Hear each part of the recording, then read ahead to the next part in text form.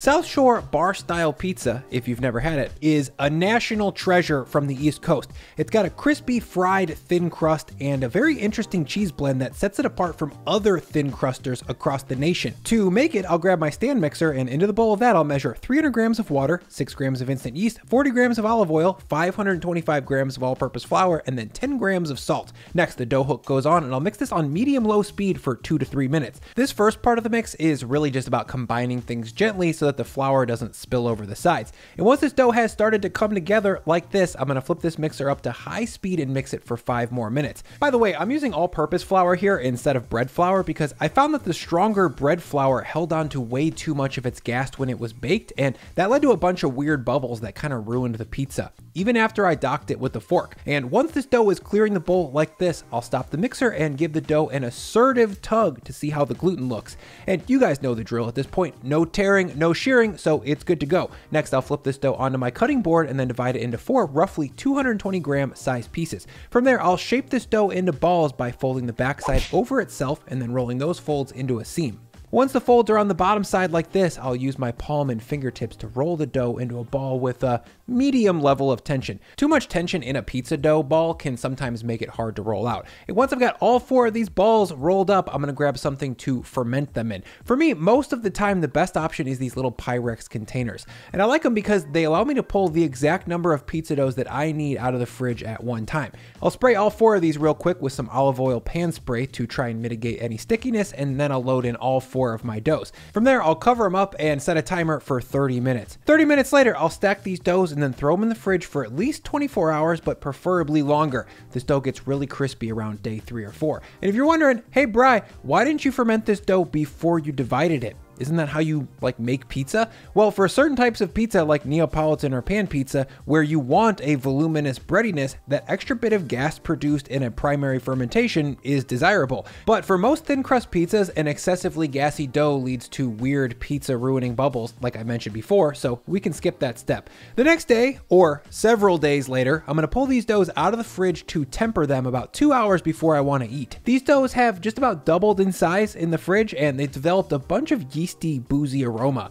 They're gonna be delicious. Now, while these warm up, I'm gonna set them off to the side and then grab a can of crushed tomatoes for pizza sauce. This sauce can be conveniently made right in the can. So I'll rip it open, lose the lid, and then add in 100 grams of tomato paste to help bring some intensity and extra thickness. Then 12 grams of salt, 20 grams of sugar, 2 grams of garlic powder, 2 grams onion powder, 2 grams black pepper, 2 grams dried basil, 2 grams dried oregano, 1 gram of chili flakes, and then in goes my immersion blender, and I'll spin this up to combine. For bar style pizza, I tend to go with an easy to make lo-fi pizza sauce like this one because that's most likely what the teenager making the pizza in the bar kitchen is doing as well. And cooked sauces with fresh onions and garlic and herbs are delicious, but for other styles of pizza like Detroit or New Jersey where the sauce sits on top of the cheese and needs to be very thick and very intense with flavor. Now, once this sauce is fully pureed, it's time to discuss cheese. From what I understand from deep diving on Reddit is that this style of pizza uses a blend of two cheeses, mozzarella and cheddar. Specifically, I've got a block of full fat aged mozzarella here because it holds up to this pizza's long bake time better than part skimwood. And as far as cheddar goes, I've got a young generic white cheddar here. Less age is preferable because too much will break into an outright grease trap that has an unpleasant bile flavor to it. Young cheddar is still gonna break and be oily on this pizza, but in a nostalgic, pleasant way. Think arcade style pizza. In total, for four of these pizzas, I'm gonna use 450 grams or about a pound of full fat mozzarella and 225 grams or a half pound of young white cheddar. And as usual, I prefer to grate my own cheeses to avoid any anti-caking agents with pre-shredded, but if you have to, pre-shred will not not work. And once I've got about a pound and a half of grated cheese mixed together, it's time to make my favorite topping for this style of pizza, fresh, hot, Italian sausage. For that, into a bowl, I'll combine one pound or 450 grams of fatty pork. This stuff is 80-20 and I wouldn't go any leaner than that. Then 10 grams of salt, 8 grams of sugar, 2 grams of black pepper, 2 grams of garlic powder, 1 grams of oregano, 1 grams of dried sage, 5 grams paprika, 1 gram of chili flake, 5 grams of red wine vinegar, and finally 2 grams of crushed fennel seed. To mix this together, I'll just hop in with my hands and give it a squeeze and fold to get everything well combined. Make sure to work the meat a little bit extra here to get it stickier so that it balls up into into chunks on the pizza a little easier. And there we go, semi-spicy sausage that's been perfumed with sage, fennel, and black pepper. It's too good and too easy not to make it yourself. Now, I'll set that aside so that we can get down to pizza business. This dough's been proofing for about 90 minutes at this point, and it's room temp and is going to be much easier to stretch than if it was cold. Next, I'm going to need a pan to build this pizza. Specifically, I recommend using a 12 inch pizza pan from the Lloyd Pan Company. They make the best Detroit style pizza pans that I've ever used, and they brought that rugged commercial grade nonstick coating to a flatter, round shape. Not sponsored, but I'll link to below if you're interested. If you don't have a Lloyd pan and aren't planning on buying one, you definitely could use a cheap grocery store pan. It just requires a little bit of extra work, and I'll show you how to do that in just a second. First, we're gonna make the standard issue cheese version of this pizza, and then second, I'm gonna show you how to make what I call the B-Boy Supreme, which is a more maxed out, way more dressed up version. Stick around for that. To make this first pizza, I'll flour my board, then carefully flip out one of my tempered pizza doughs, and yeah, it got stuck to the glass a little bit. That's no problem because this pizza is gonna be rolled totally flat. Now, a little bit more flour on top, then a flip, and a touch more flour, and from there I'll grab my rolling pin and start to roll this out. I'll give it a few back and forths, then turn it 90 degrees and then give it a few more back and forths. And don't hesitate to add flour here to keep the rolling pin from sticking to the dough. And also make sure to get the edges of this thing rolled as flat as you can. Those tend to stay thick if you don't, and that can lead to a fat crust, thin middle situation. And once I got this dough rolled into a roughly 10 inch round like this, I'll grab a fork and give this pizza a docking. Docking is a fancy word for just poking holes in a pizza to prevent it from rising too high in the oven. This will keep this thin crust pizza on the thin side. Next, I'll grab my Lloyd pan, which I sprayed liberally with pan spray earlier, and I'll lay in my dough. From there, I'll do my best to evenly spread this out in the pan so that there's no wrinkles or bare spots or bubbles. And once it's kind of uniform in the pan, I'll go around and press this crust upwards into the sides. I'm shooting to get this crust pushed up about a half inch or so all the way around.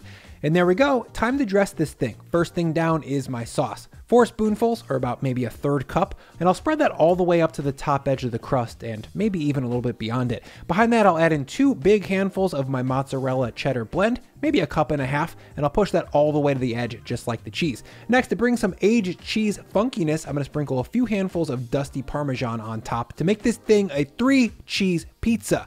And finally, this is very important. I'm gonna finish with a strong sprinkle of flaky salt or reg salt if you don't have flaky. And this seasons the pizza. It's gonna take it from an average pizza to a pro level one, trust me. And once we're all dressed up, this pizza is gonna go into a 550F oven onto a pizza steel that's been preheated for at least 30 minutes. Now, this pizza gets baked in two phases, the first of which is six minutes in the pan, and the second is gonna be on the steel, but we'll get to that in just a second. And once the cheese is looking all gooed up and bubbly like this, it's time to pull it out and take a look at the bottom. Hmm, as you can see, it's getting there, but it's not what I would consider to be crunchy or crispy, and plus the top of this pizza still needs a lot more heat. So I'll scoot this out of the pan and right onto my pizza steel and cook it for three to five more minutes. While that finishes, let me quickly thank Vetted for sponsoring this video. If you're like me and spend way too much time researching anything before you buy it, I would highly recommend checking out Vetted. Vetted is a free browser extension that compares product reviews and prices for you so that you can know you're getting the best product for your money. Hopefully without spending three hours doing research first.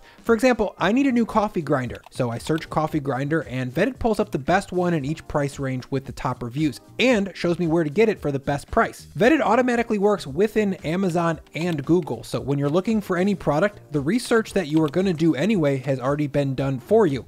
It's pretty genius, actually. My favorite part of Vetted, honestly, is just the time savings. I always get sucked into black holes of research trying to save just a little bit more money, so having some help in that department is nice. So to shop smarter with Vetted and to start saving time and money, you can get it for free using my link down below. It's super easy, and if you use it, Vetted will think that I'm cool and maybe sponsor more of my videos. After 10 to 11 minutes of bake time, this pizza is ready to pull out. And yes, 11 minutes is a long time to cook a small pizza at 550, but this style of pizza is supposed to be a little bit hammered. Like the cheese is supposed to be fried and lacy like this. And look at this. I mean, come on. Tell me that you wouldn't crush this with a pitcher of stone cold Busch beer pulled fresh from the tap while watching some sports event. And here's the thing about a pizza like this it's good. It's crunchy, it's salty, and swimming in molten cheddar fat like all good bar food should be. Sure, you could bake this pizza less and have less cheese grease, but then you'd also have a less crispy crust and less cheese grease.